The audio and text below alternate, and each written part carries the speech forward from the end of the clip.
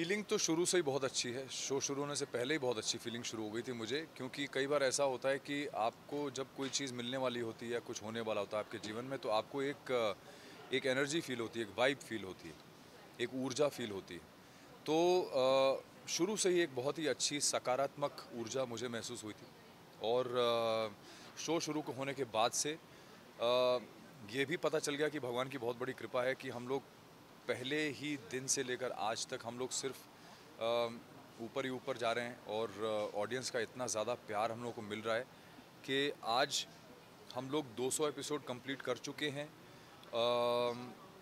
और वो भी ऐसे समय में जब शो हमारा शूटिंग जब शुरू हुई थी तब पैंडमिक बहुत ज़ोरों पे था और सरकार ने तीन महीने, साढ़े तीन महीने के लॉकडाउन के बाद परमिशन दी थी ताकि फ़िल्म इंडस्ट्री का बिज़नेस फिर से शुरू हो सके, काम शुरू हो सके, लोगों को फिर से रोज़ी रोटी मिल सके। उस दौरान अमिड ऑल द रेस्ट्रिक्शंस और इतने सारे जो रेस्ट्रिक्शंस थे, इतने सारे रूल्स थे, उनके बीच में हम लोगों ने शुरू किया और उतनी कठिनाई में शुरू करने के बाद भी हम लोगों ने ये माइलस्टोन क्रॉस किया है। तो it's a very very big blessing for us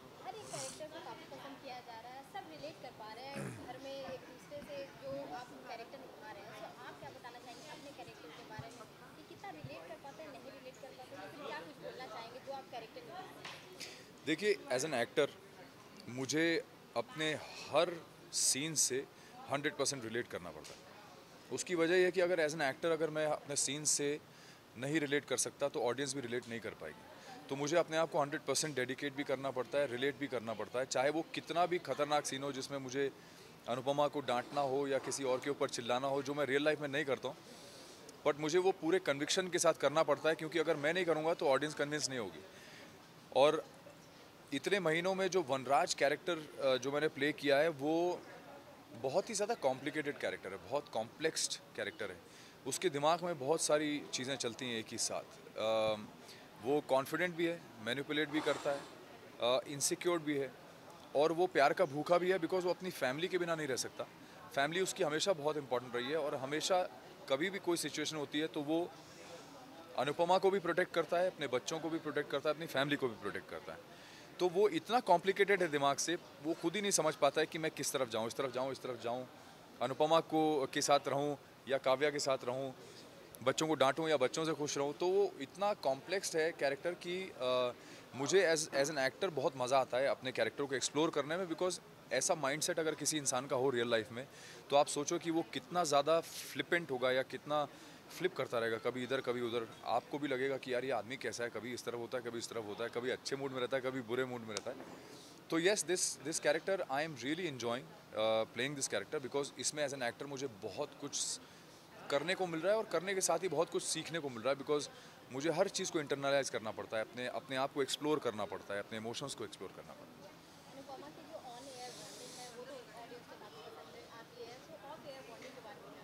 of of air bonding हमारी ऐसी है कि अगर आप, आप लोग ना ही देखें तो अच्छा है क्योंकि क्योंकि आपको लगेगा कि यार ये पाँच साल के छः साल के बच्चे हैं या ये सच में जो कैरेक्टर्स प्ले कर रहे हैं उस उम्र के हैं। मैं कुछ नहीं बोलूँगा। रूपाली ने जो भी बोला होगा आई एम श्योर अच्छा बोला होगा। और अगर अच्छा नहीं बोला है तो भगवान उसका भला करे। है ना? ब्रेक के बाद। मैं अपने फैंस को अमित मिडल ऑफ़ इंटरव्यू मैं अपने फैंस को बहुत बहुत धन्यवाद कहना चाहूँगा कि आप लोगों ने बहुत ज़्यादा प्यार दिया है हमारे शो को और हमको। और इसी तरह से अपना प्यार बना के रखिएगा। बहुत बहुत धन्यवाद God bless you all thank you thank you so much so ma'am सबसे पहले तो बधाई देना चाहूँगी कि आज केक कटिंग भी हुआ और हवन भी हुआ और अनुपमा जो शो है वो काफ़ी हिट चल रहा है के मामले में भी और ऑडियंस के दिल में जो जगह बनाया उसके बारे में क्या फ़र्स्ट ऑफ़ ऑल मैं सबको थैंक यू बोलना चाहूँगी हमारा शो पसंद करने के लिए, बहुत प्यार देने के लिए और इतनी डेडिकेशन के साथ देख डेडिकेशन के साथ देखने के लिए क्योंकि अगर आप देखते हैं तो ही हमें खुशी मिलती है मोटिवेशन मिलता है और यू नो ताकत मिलती है कि और अच्छी स्क्रिप्ट आए, और अच्छा सीन करे और आपके दिलों को छुए। Thank you so much and दूसरी चीज़ ये है कि मैं बहुत खुश हूँ। आई फील लकी कि मैं इस शो का हिस्सा हूँ। Touchwood by the grace of God ये शो बहुत अच्छा कर रहा है। Every actor in the show बहुत दिल से काम कर रहा है एक एक कैरेक्टर एक एक इंडिविजुअल को अपने तरीके से कनेक्ट कर पा रहा है। तो I feel great I am so happy कि हमने uh, 200 एपिसोड कंप्लीट किए हैं and successfully happily peacefully and touchwood आगे भी ऐसा ही चलता रहे। जिस तरह से आपने बोला कि सारे एक्टर का जो रोल है वो ऑडियंस के दिल में एक जगह बना लिया और सब कनेक्ट कर पाते हैं रिलेट कर पाते हैं और आपका भी कुछ ऐसा रोल है जो ऑडियंस को काफ़ी पसंद आता है उसके बारे में क्या I am being very honest मैं जब भी बाहर जाती हूँ कहीं भी जाती हूँ लोग मास्क में तो पहचान जाते हैं कि आप किंजू बेबी है। I am like ya and आप अनुपमा में we love you and you know बहुत like it is so good I feel amazing मेरे को बहुत खुशी मिलती है कि लोग मेरे कैरेक्टर को पसंद कर रहे हैं क्योंकि ये एक इंडिपेंडेंट लड़की है जिसकी सोच जिसका रहन सहन खाना पीना मतलब जो भी है पर्सनालिटी बहुत अलग है ये फैमिली से। वो कोशिश कर रही है कि इस फैमिली में जलप हो जाए और एक नया ट्रेंड लेकर आए। एंड इट्स ग्रेट यार all I can say it's fantastic अपने कैरेक्टर से कितना रिलेट कर पाती हैं बहुत कुछ। बहुत कुछ। आई थिंक सिंप्लिसिटी एजुकेटेड अपने लिए स्टैंड लेना किसी का बकवास किसी की बकवास नहीं लेना। एंड आई थिंक मैं इससे बहुत ज़्यादा रिलेट करती हूँ। हाँ लेकिन लुक वाइज मैं नहीं करती क्योंकि मैं ऐसा सब मैं इतना इंडियन नहीं पहनती। Uh, और uh, बाकी सबसे बात करना सबके साथ रहना सपोर्टिव रहना I think I do connect a lot with that in person on air तो आपकी बॉन्डिंग को काफ़ी पसंद की जाती है सबके साथ ऑफ़ एयर कैसी बॉन्डिंग रहती है आ, बहुत अच्छी है बहुत अच्छी है एंड आई होप ऐसे ही रहे।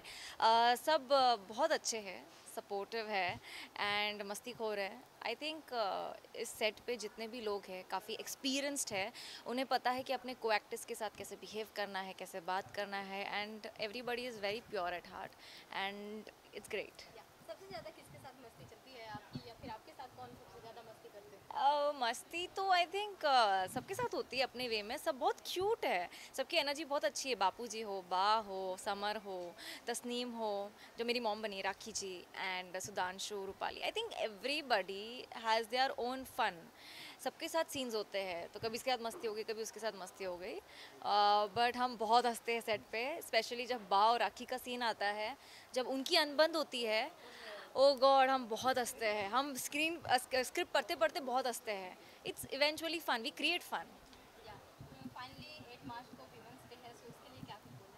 है एट मार्च को विमेंस डे है तो मैं यही कहना चाहूँगी पूरी इंडिया की पूरी दुनिया की वेमेन को कि आप सबसे खूबसूरत हैं सबसे हसीन है पावरफुल है आप जो है अपने आप में बहुत ब्यूटीफुल है। आप जैसी है वैसी रहिए हर एक को सपोर्ट करिए मन साफ़ रखिए and you are the best and आप हमेशा टॉप पे रहेंगी और हमेशा सही रहेंगी। अनुपमा के फैंस या फिर ऑडियंस को क्या कुछ मैसेज देना चाहेंगे अपनी तरफ़ से? शो दस बजे आता है स्टार प्लस पे। हर रोज़ दस बजे मंडे टू सैटरडे आता है। देखते रहिए उस प्यार के साथ and I am so sure कि हम आपको कभी डिसअपॉइंट नहीं करेंगे। Thank you thank you thank you so much कि आप हमारा शो देखते हैं और उसे बहुत पसंद करते हैं। And thank you for loving Kinju baby also thank you